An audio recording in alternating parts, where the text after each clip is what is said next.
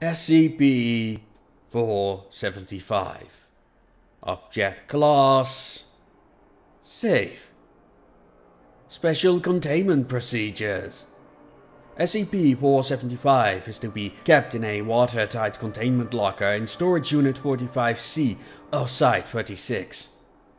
All testing with para-religions requires permission from the site director. To prevent religious groups of interest from learning of the object's existence, knowledge of SCP-475 is to follow Level 3 info security protocols. Description SCP-475 is an ornate sculpture of soap depicting an unidentified pope. Inscribed at the base of the statue is the phrase, Cleanliness is next to holiness. Analysis reveals the object to be composed of a long chain of saturated fatty acids, totaling 89.7% of its mass, with the remaining 10.3% corresponding to attached as the hydrophilic head. It is believed that the gives SCP-475 its unique properties, but all attempts to recreate this compound have failed. When SCP-475 comes into contact with water and is applied to the skin, all accumulated foreign contaminants are removed. Tested materials include dead skin cells, perspiration, bodily parasites, mold, dirt, and detergents. Post-test examinations have shown that 100% of foreign contaminants are removed, a statistical anomaly to be sure. This process only occurs when used on human skin. All attempts so far to use SCP-475 on non-humans have failed to produce its anomalous effects. Testing on anomalous animals, such as SCP-1845, and SCP-2050 is pending approval. Unlike typical soaps, the usage of SCP-475 does not damage it. SCP-475's secondary anomalous effects manifest when it's used on a professing member of an organized religion. Subjects universally report greater mental clarity, show greater adherence to church doctrine, and rate at least 15 centiacliba more on the Brandon Spencer piety scale. These effects increase in intensity the longer the subject uses the object, accumulating in local reality changes signified by all bodies of water within a 5 meter radius turning into equivalent liquid that is considered holy in the subject's religion. Examples of these changes can be found in test log 475. Addendum SCP-475 came under Foundation containment when insubordinate elements of the Horizon Initiative relinquished control of it. These elements cited a desire to maintain unity and prevent infighting as to why the object could not be kept. SCP-475 was allegedly recovered from the residence of the Catholic Cardinal who was found deceased from injuries consistent with upside-down crucifixion. The following materials were also provided.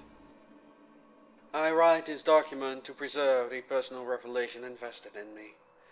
Over these past years, I have grappled with my faith. Having committed it to paper, the idea seems absurd. I, a leader of faith, I, whose vote was determined the successor of Peter, I, who was undeniable proof of God's glory. The initiative, for all its missteps and blasphemy, has provided undeniable proof of God's glory, proof that it has to be withheld from the world due to its inscrutable agreements with occult forces who do not have salvation in mind. Despite this undeniable proof, I wrestled with fears that God is not almighty. How come a God so glorious and almighty stands by as false idols expect of forces over man? By the grace of God, my fears have been quelled. The night before, I beheld an apparition of Mary. Trying to capture the glory of it would be futile, but it was an experience too magnificent to withhold. We were out at sea. Below the waves, I could see the church penitents awaiting purification. Further below that, deep beneath, there was creation. All around us were gilded statues of saints, each linked to a church far below. The uh, Virgin Mary herself was resplendent, situated atop a pedestal, the, the pedestal carried by a many winged creature of fire. In her right arm, she held the Savior. In her left, a block of marble. She confided in me, told me of my purpose, encased in the marble were the keys to heaven, the church magisterium itself, the authority to commune with saints. I was to take it, free the keys, and cleanse the church militant. Then all will be made clear. When I woke up, there was a block of soap on my nightstand. Queer, but I do not question the machinations of God. Every day since that night has been hazy. I have worked with uh, a fervor to accomplish this mission. Even to this moment, I have my doubts, but I am human. It's my nature to doubt. If there is one thing I can be certain of, that I'm a cog in God's plan. Addendum SCP-475 approved the extensive testing with para-religions. Test log 475. Level 3 clearance required. Note, due to the scarcity of para-religions adherent under Foundation control, SCP has been approved to create suitable test subjects. Test subject's religion, Roman Catholicism. Duration, 3 minutes. Result, water transmuted into a mixture of olive oil and balsam, consistent with chrism oil employed in various Catholic rituals. Stigmata manifested in the subject's hands. Note, subject was heard reciting Confiteor as an anomalous effect took place. The stigmata healed over the course of the next three days. Test subject's religion, Roman Catholicism, sedevacantist.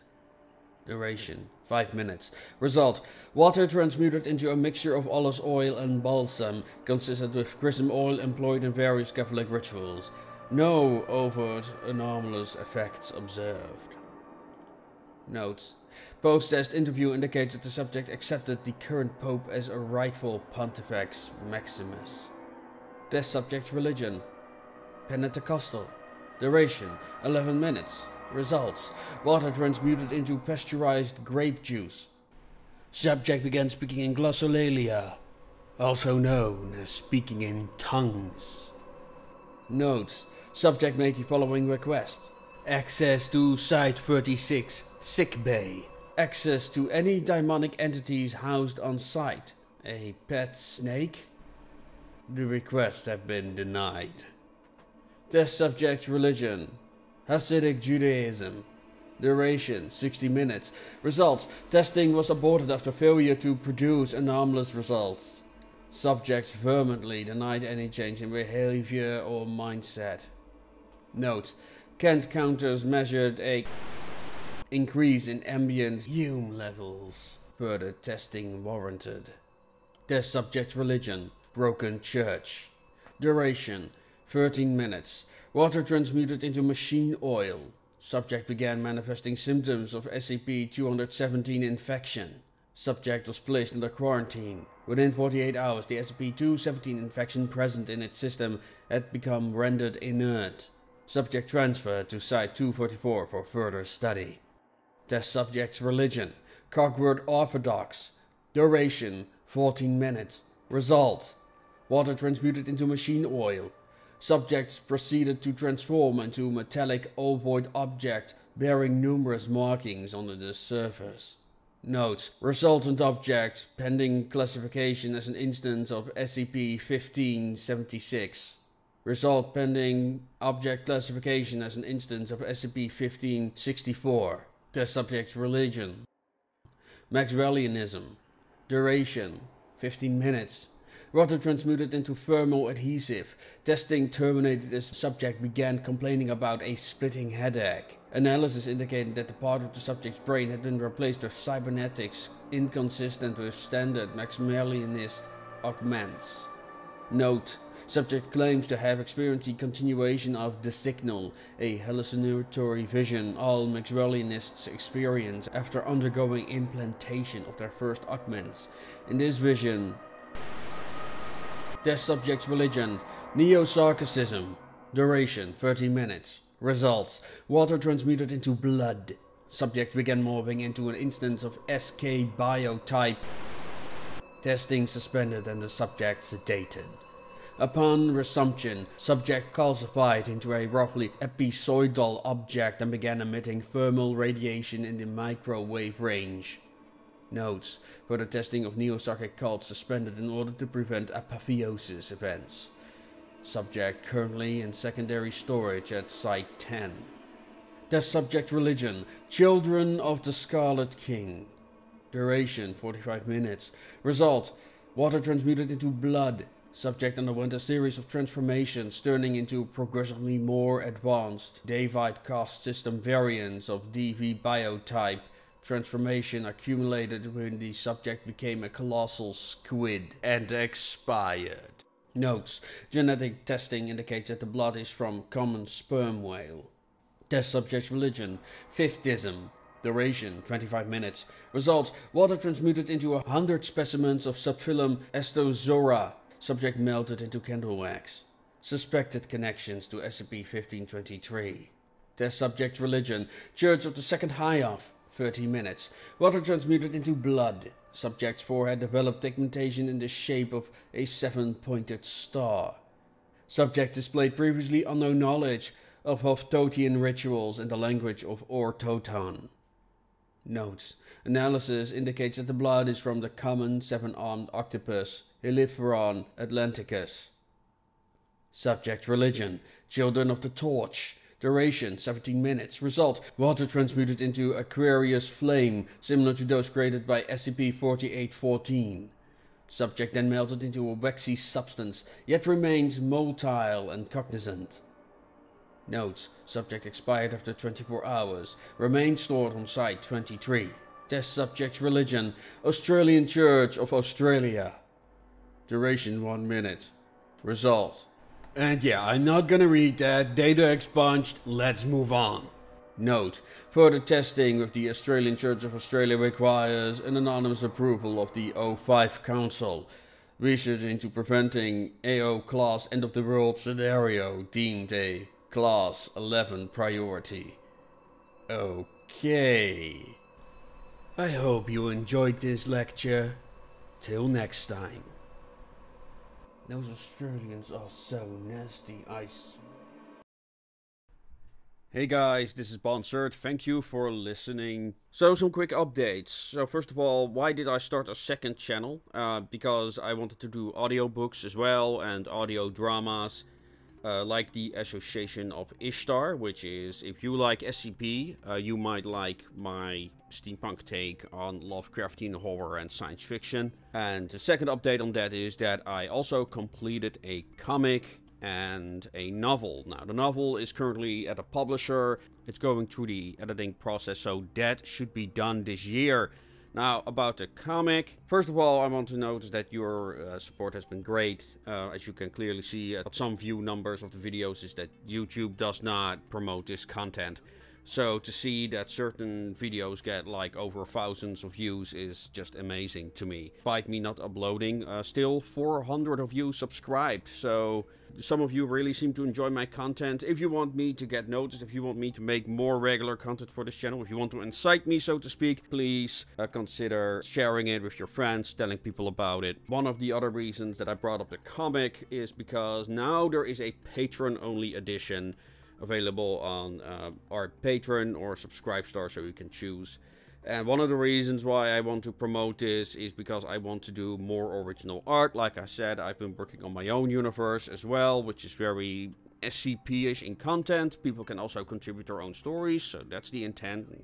And also I want to do more comics in the future, and also that for that I need your support. So yeah, if you ever wanted to support my work, please go to my Patreon or my Subscribestar free comic, kind of free, is now available.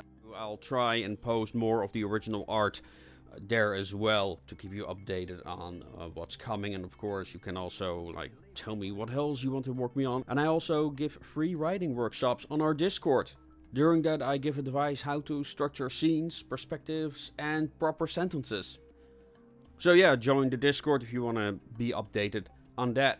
In case you're interested in my novel and you want to know a little bit about my writing style and my take on the SCP-esque genre, go check out the Association of Ishtar wiki down below. And with that, ladies and gentlemen, make things your way.